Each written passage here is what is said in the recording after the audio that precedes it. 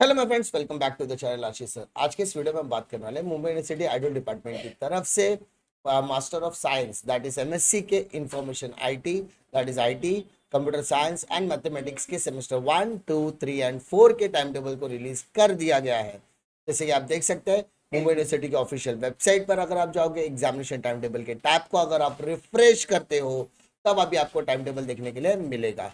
इसके अंदर semester one की जो एग्ज़ाम है, वो ट्वेंटी फ़र्स्ट मार्च से शुरू होने वाली है, साढ़े दस से लेकर एक बजे का टाइमिंग होने वाला है। M S C semester two की एग्जामिनेशन ट्वेंटी थर्ड मार्च से शुरू होने वाली है, सेमेस्टर थ्री की एग्जामिनेशन ट्वेंटी फ़र्स्ट मार्च से एंड ट्वेंटी सेमेस्टर फोर की एग्जामिनेशन ट्वेंटी थर्ड मार्च से होने वाली है। ठीक है?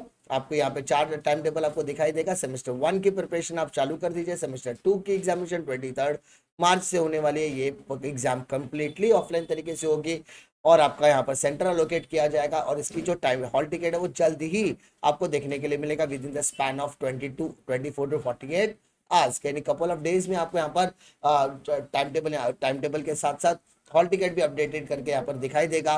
और हॉल टिकट आपको कहाँ पर मिलेगा, आपको उसके लिए लॉगिन आईडी क्रेडेंशियल का इस्तेमाल कर कर आपको पोर्टल पे लॉगिन करना होगा। और उसके बाद आपको हॉल टिकट के डीयू वाले साइट पर जाकर आपको हॉल टिकट डाउनलोड करना पड़ेगा, जहाँ पर आपका अपडेटेड डेट शीट भी आ सकता है और उसी के साथ साथ आपका सेंटर भी एलोकेट किया जाएगा।